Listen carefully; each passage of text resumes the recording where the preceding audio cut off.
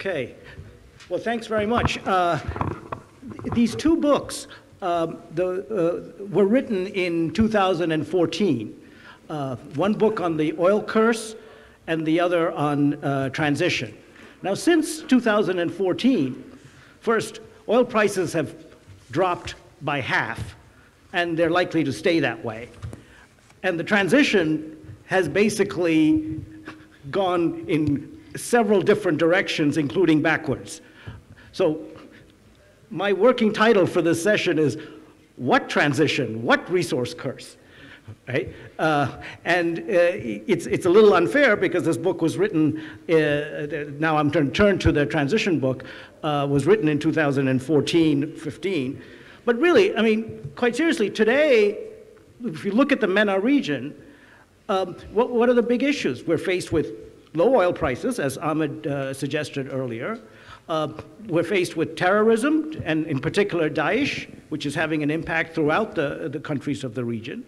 And then three or four of our countries are in a full-blown civil war. Right? This is, a, this is not a smooth transition. Uh, now, in particular, the, the, to be fair, the book anticipates some of it, particularly the, the chapter by Mustafa Nabli about what it takes for a democratic transition to, to take place, including state capacity, um, and, the, and the paper by Melanie Cammett about dep it depends critically on which way the elites uh, align themselves for a transition to, uh, to take place. But most of the book, most of the transition book, is really about the causes of the Arab Spring and the, and the transition. And it does a very good job there. So let me just, again, I, uh, just highlight the, the four. I also have four categories of the, uh, of the clues, uh, but uh, slightly different from uh, what Ahmed uh, just suggested. And then let's see whether we can use some of the insights from those clues as to, to tell us what to do going forward. Because we've got a, a very big challenge going forward with all of these problems in the region. So the first is I would combine the politics and economics, as you said in your exposition, into one. And I think this, the, this idea of the old social contract that has broken is a way of combining the two. Because the social contract is really both about economic policy and it's about politics. It's about the relationship between the state and, and the citizens. And this old social contract that was remarkably similar across the Arab world was one where the state provided uh, free health and education, subsidized food and fuel, and public sector jobs. And in return for which, the population, so as not to risk the largesse of the state, uh, kept their voices low. And that was the authoritarian bargain that, that uh, Ahmed uh, alluded to. Now, the problem was that this was not sustainable, in particular, that public sector jobs because the state couldn't afford it. The, the fiscal deficits were getting too big, and they had to, had to stop. But the, the, the real problem was that the private sector, particularly the formal private sector, didn't grow fast enough in order to absorb all the young people in the jobs. And that's what led to this, the highest unemployment rate in the world, the highest youth unemployment rate in the world as well, which is double the average unemployment rate. And then the whole thing blew up. Uh, and th so this, this, is the, this is the cause, the underlying cause, that the, one side of the social contract was broken, so the other side had to, had to be broken as well. So going forward, well, actually, let me, let me then mention the three other topics, and then I'll talk about how to go forward. So the second is uh, the, the issue of inequality. And I think it's very important to keep in mind, it's about perceptions of inequality. It is that notion of social justice. It's not actual inequality as measured by the Gini coefficient, but it is the perception. And it is, it is interesting, and this point about the middle class, because while most of these indicators during the 2000s were improving, like you know, growth was uh, increasing, poverty was falling, inequality was declining, the life satisfaction index in the MENA region was plummeting. MENA was the unhappiest region in the world, right? including in countries like Tunisia, where all the other indicators were, were, were growing. Now, this is before the Arab Spring. But the other fact, which isn't highlighted, is that if you compare the life satisfaction of the bottom 40% to the top 60% of the population, it was the top 60% that was falling faster. This is the only region in the world where it was that way. Usually, you think the poor, the bottom 40%, is unhappier than the top 60%.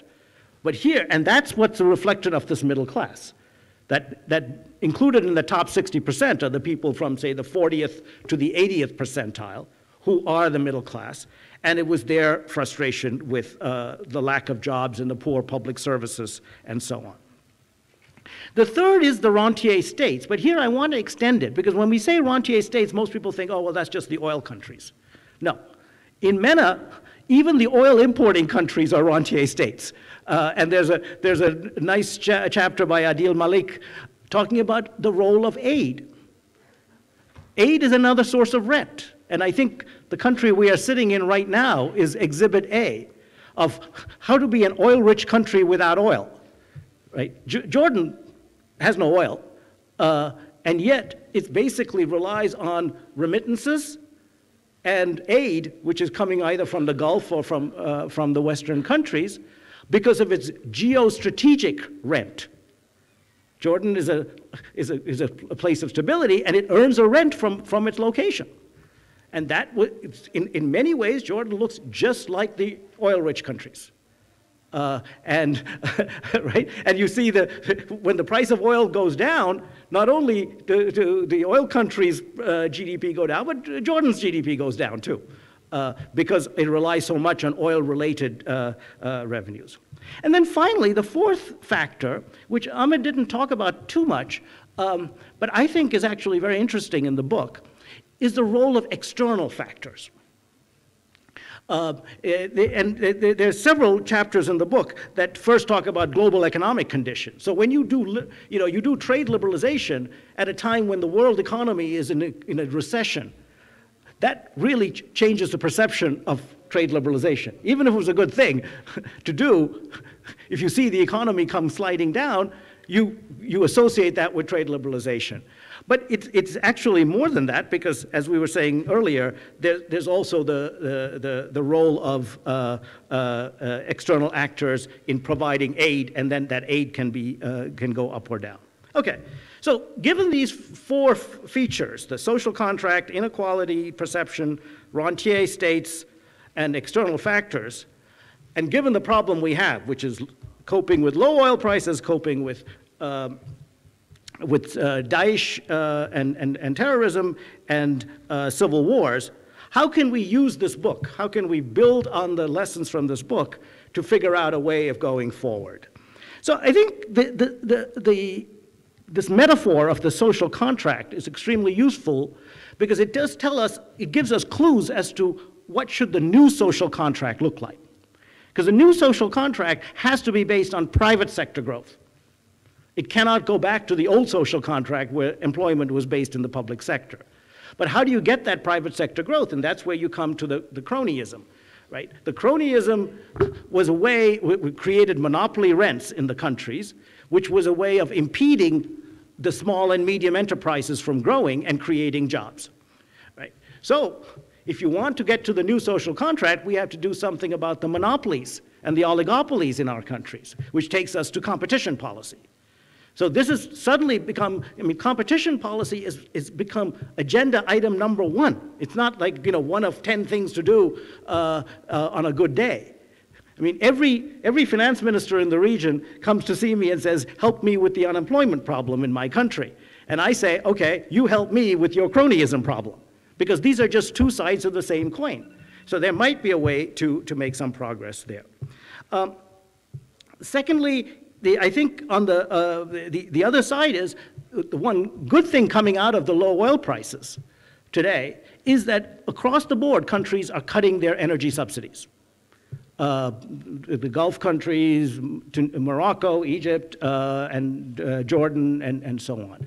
Now, the energy subsidy was also a, an example of a flawed social contract, in addition to creating all sorts of distortions and everything else.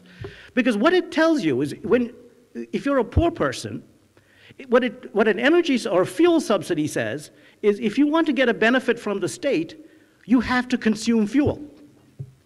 The state is controlling you as to how to get the benefit.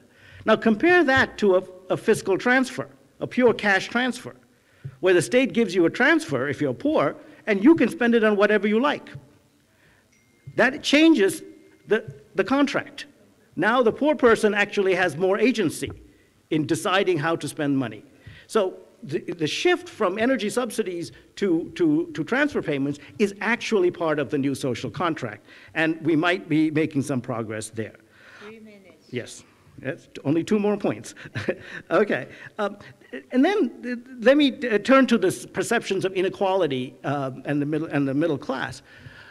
That is actually gives us a clue as to what to do, one thing to do about Daesh. I mean, there's not, no way that we economists can handle the whole problem of, of uh, terrorism.